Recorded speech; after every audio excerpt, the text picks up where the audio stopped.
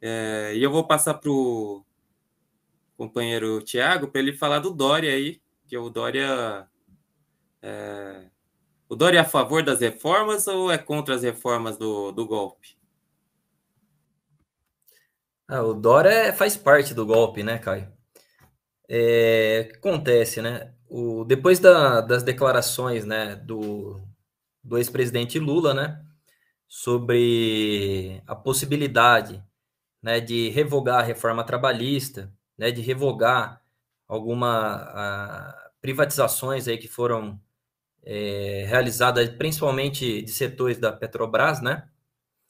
É, depois dessas declarações, ainda que, que renderam aí a, a contra, o contraditório aí do, do, do Geraldo Alckmin, né? O governador aqui que, que busca se aí colocar como que a burguesia quer impor como vice do Lula, né? Geraldo Alckmin que apoiou aí a o golpe de Estado contra Dilma, né? Abriu as catracas e tudo mais, né? Se reuniu lá com um Paulinho da Força e tudo mais, né?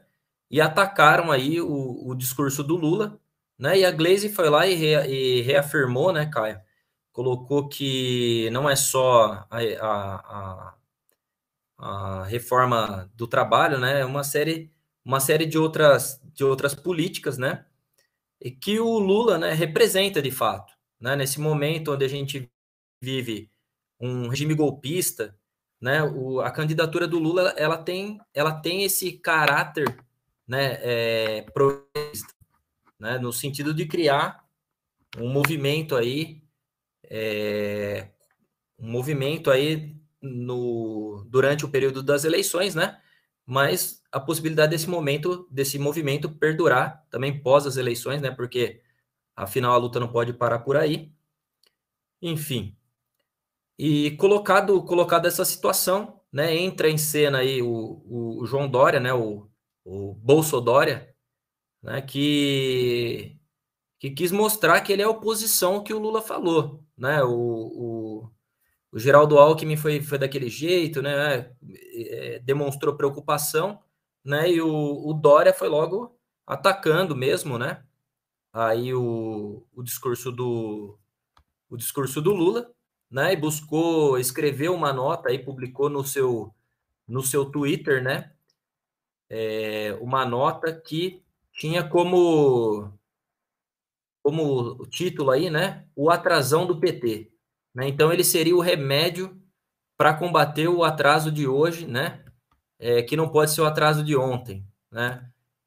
É, então assim, o João Dória, né, que que destruiu, que, que busca aí destruir, né, o, o, o estado de São Paulo, né, que privatiza até o Vale do, do Anhangabaú, né, um cara que se deixar privatiza até aí a, o, o sistema sistema solar, né? Então, o, um cara que privatiza parque, um, um que privatiza praça, é assim, é um delinquente, né, político mesmo, né? É, o João Dória, né, que ataca aí o, o, a previdência, né, que atacou a previdência aí dos servidores do Estado, né, assim como fez o Geraldo Alckmin, né, que, que ataca o serviço público aí com o PLC 26, né, que ele, na época ele quis mostrar também que ele que era o candidato da burguesia, né, porque afinal de contas o Bolsonaro colocava a PEC 32, ele ia lá e mostrava, não, o candidato da burguesia sou eu. Tá aqui o PLC 26, né, que é destruição do, do, do serviço público, né, no, no, no estado de São Paulo e também das condições aí de vida dos servidores, né. Então ele, ele busca se colocar, né, como como esse papel né, de, de oposição mesmo é, e em defesa aí da, da política neoliberal, né?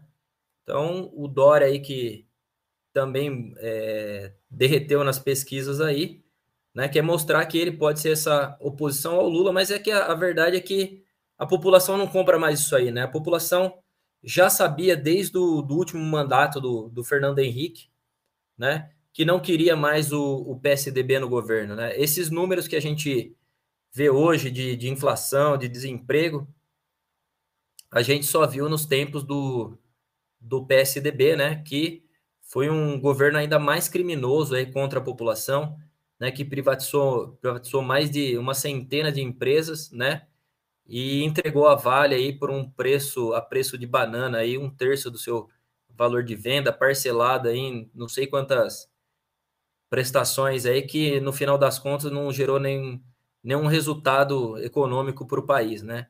Além de entregar aí uma além de entregar aí uma, uma área de mineração aí de 500 anos, né? de pelo menos meio século de mineração aí de, de ferro, né? Então, né, esse esse é o, o João Dória aí que seria que seria aí oposição ao Bolsonaro, né? Mas que finalmente tem a mesma política, né? A diferença é que ele não babe igual o Bolsonaro, né? Ele é um sujeito aí que busca ter uma aparência, né? Enquanto o Bolsonaro dá osso, né? Ele dá ração, né? Então ele busca manter uma essa aparência um pouco mais palatável, né? Mas que no final é um fascista quanto tanto quanto o Bolsonaro, né? O irmão se amês aí do Bolsonaro. É isso, Caio.